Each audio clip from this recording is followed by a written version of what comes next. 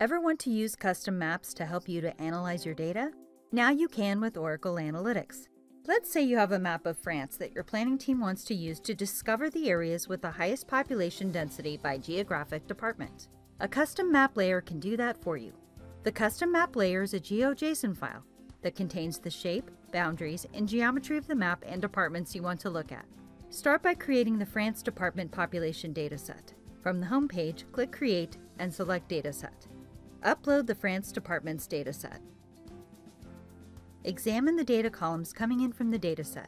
The dataset contains region, population, density, and area information for each department in France. Click OK. Save the dataset. Create a workbook and then save it. Name it France Population by Department and click Save once more. Next, test the dataset in the workbook. Use the Control key to select Department, Population, and Population Density columns. Right-click a data element and select Pick Visualization. Select the Table Visualization type. The data is displayed on the canvas in a table visualization. Save your changes. Next, display population by department data in a map visualization.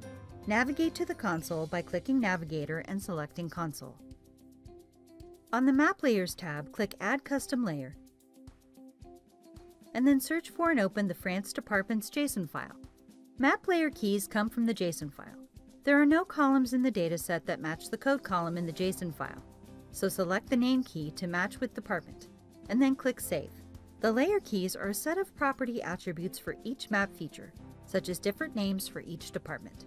The upload looks good. Open the workbook again in Navigator by clicking Catalog and double-clicking France Population by Department to test the custom map. Click Edit. Use the Control key to select Department and Population. Right-click Population, select Pick Visualization, and then Map. Oracle Analytics matches the name map layer key column with the department data source column in the workbook. Move the map visualization to the left of the table visualization. You can use multiple background maps to give you greater flexibility for visualizing data. Open the Properties panel and the Maps tab.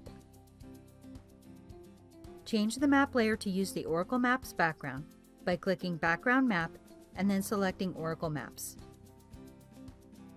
In the table visualization, sort the department population values to display from high to low. Take a look at the Nord and Paris departments. Clicking them in the map visualization also highlights the corresponding area in the table visualization on the canvas. You want to group the departments by region in the map visualization. Open the Grammar panel Drag region from the data elements pane to the color drop target to replace population. Use the shift key to select the first 10 rows in the table visualization. This brushing action highlights the corresponding departments on the map and helps you quickly see how the departments are distributed. The selected departments are the most densely populated and indicate where the planning team should focus their efforts. Now you know how to use custom map layers to visualize data in Oracle Analytics. Check us out at docs.oracle.com.